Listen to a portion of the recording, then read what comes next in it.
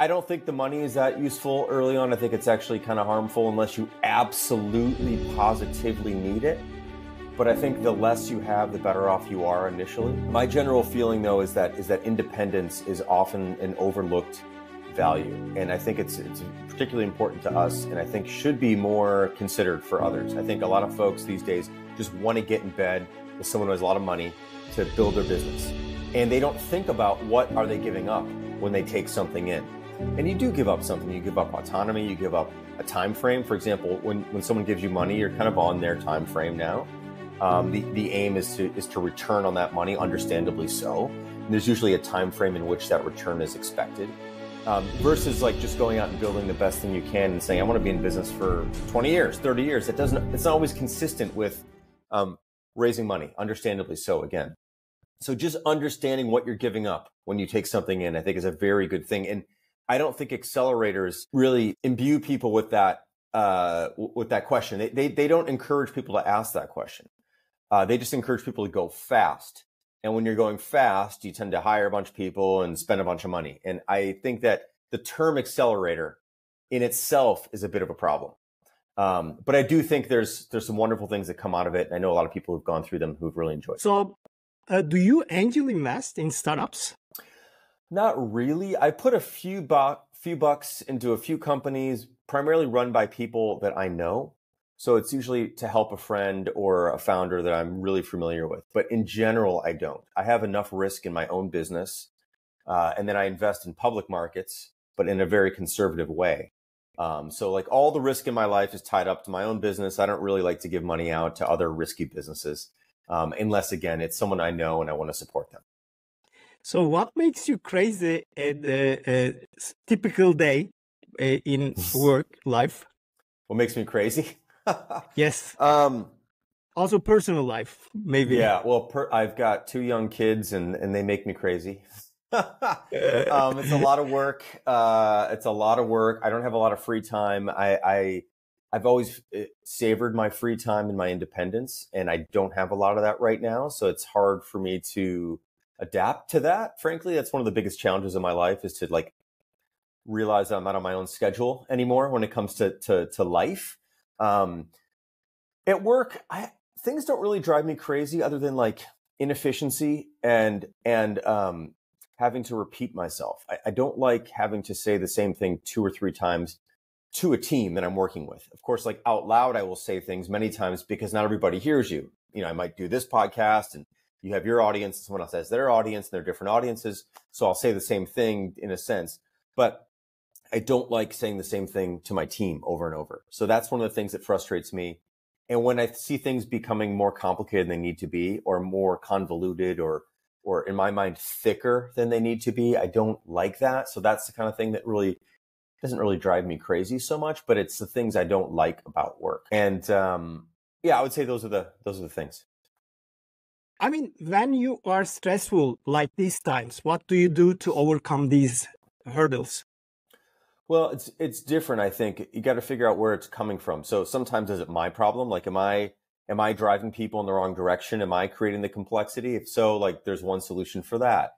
If another someone else is doing it, there's another solution for that.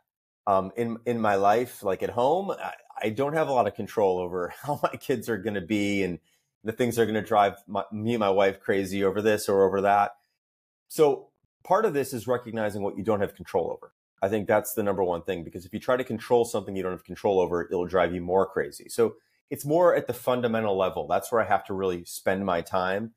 Otherwise, I can I can get myself wound up in loops that I don't have any control over, but I think I do, and then you just keep going in circles. So, hey, look, if it's if it's something I can't handle or I don't have control over, the best thing for me is to step back and let it happen actually and let it pass. But if there is something I can have influence over or I'm involved with specifically, I think about what can I do to change the situation? And and and is it within my grasp? Is it within my reach? Is it within my my power to do so? If so, like how can I do this productively and constructively? Um, so like yelling, for example, is not a particularly good good approach.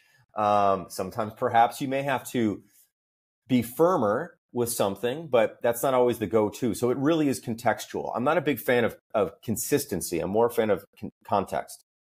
And so I think context control, those kinds of things are really good things to think about if you really want to want to make change.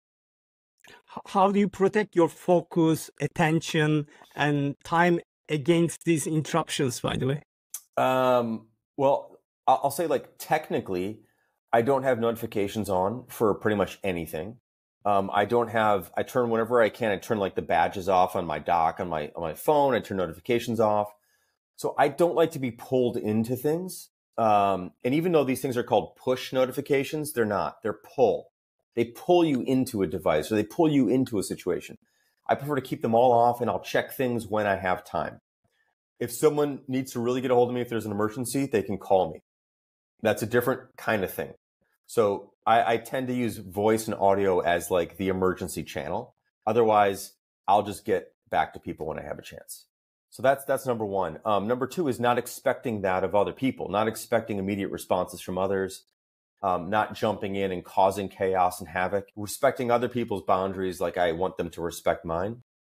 And if you do th- those things, like you keep notifications to, to a minimum and you don't bug other people that much, and so they won't bug you, those two things can go a long way towards towards maintaining a, uh, an environment where you can focus just on the things you need to and not get carried away and getting pulled into to you know the maelstrom of, of work. Um, so that that's those are the two things I do. Um, the other thing I would say is not having that much to do is very important. So people like to make them make long lists for themselves and have all these expectations and goals and rituals. I'm not that person. I don't really have a lot of goals. Um, I don't have a lot of expectations as well. I, I, I tend to focus on the now, focus on what we're doing, try to do the best job I can. And that's, that's, you know, let the chips fall where they may versus like setting up these goals and these numbers and these things we're all trying to attain and strive towards. I think that causes a lot of stress and unnecessary chaos. So, um, dialing things back, just saying, let's do the best work we can today. Let's give it our best today. And that's all we have. So, sticking close to that, I think, is very helpful. So, do you consider yourself more as an introvert or an extrovert? I'm very introverted for sure. But yeah. I mean, it seems to be vice. I mean, uh, reverse. Uh, as we listen and uh, probably read your books, and you are very confident and also outward. Well, I mean, books are very introverted things. I get to write them in quiet, peace and quiet, and I get to put them out there, and people can read them, and they're not. I'm not with them, you know. So uh, I like conversation. I like one-on-one conversations, small group conversations quite a bit. And to me, the internet's interesting because it's, it's, even though you might be broadcasting to many, many people, tens of thousands, hundreds of thousands, a million, whatever it might be, it doesn't feel that way to me. It feels like I'm having a conversation with one person and I'm very comfortable in those situations. And I'm also comfortable on stage. I've spoken to big audiences, but that also feels in, in a way, um, fine. What I don't like is after my talk, there being a line of 30 people to have to talk to or have to do like the after talk dinner. Like that kind of stuff I, I'm not comfortable with. Um, so it's really like the the big groups where it's one to many or or me broadcasting one to many this way that I'm comfortable or one on one. But I don't like the middle ground. So I would definitely mm-hmm. call myself an introvert. And I prefer to stay home versus go out to a party or whatever. That's just not kind of my thing. Yeah. So, when do you find yourself in the state of flow? Um, flow right when I write, uh, I I find myself in flow when I'm thinking about new product ideas. Uh, so big picture thinking, I, I find very relaxing and very comfortable, comforting, and and intellectually stimulating and interesting. Um, I don't find myself in the flow when I'm in the minutia, when I'm dealing with a bunch of stuff I don't want to deal with. I, I definitely feel clunky and not flowing. So for me, like for example, we're about to work, start working on a new product uh, this week. I like this. This is kind of my zone. Um, the big picture, thinking about what this thing should do, what it's all about, uh, the big idea behind it, coming coming up with a clear idea that I can uh, explain to others. Um, finding an idea that in my mind rhymes like it all just sort of rhymes it goes well together like a like a good poem that is where i'm in my flow state